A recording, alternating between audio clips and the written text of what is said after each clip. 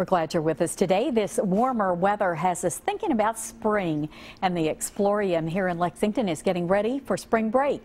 Lee Ellen Martin, Executive Director of the Explorium, is here to tell us more about it. Welcome, glad you're here. I'm glad to be here. And you've got a lot going on for spring break. It's going to be really busy. There's lots of things to do, a little something for everybody.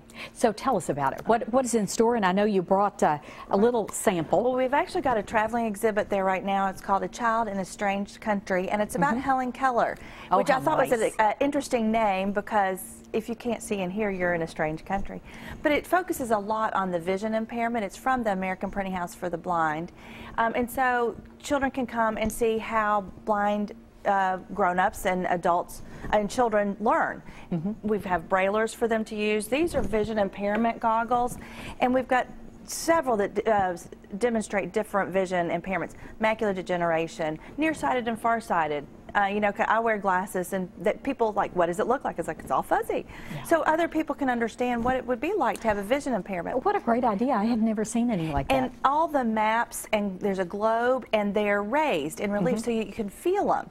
And I think, frankly, we all would do well with that because I felt I was like Mountain Valley. You know, you kind of get a better. It's another way to learn, a better yeah. picture in your mind of what the what the world looks like. Well, and what a great thing if you can keep the kids entertained and also teach them at the same time, which is a big theme with That's the Explorium. Right. Well, we are all about fun and education. Um, and for the rest of spring break, we've got all sorts of other activities going on. Um, for the folks who have to work, Mm -hmm. our accountant friends and and our folks at Keeneland. Um, we have camps going on for the whole, and they're 8:30 in the morning until 5:30 in the afternoon mm -hmm. for the. What ages? Yeah, for the pre-kindergarten crowd, we've got um, nursery rhymes where they're going to, you know, go over some of their favorite nursery rhymes, act them out.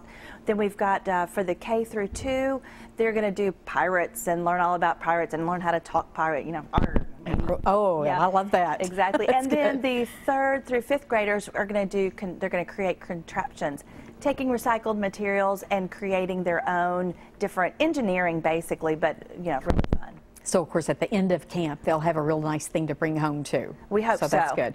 Is it too late? I know spring break is right around the corner. Is it too late to take advantage of it? Absolutely not. They can just call us and sign up. And then if you're doing a staycation during spring break, we've got programs every day that are free with admission. So anything from learning to be a clown, meeting a veterinarian, uh, glow-in-the-dark art, and of course on Friday we'll top it off with a dance party.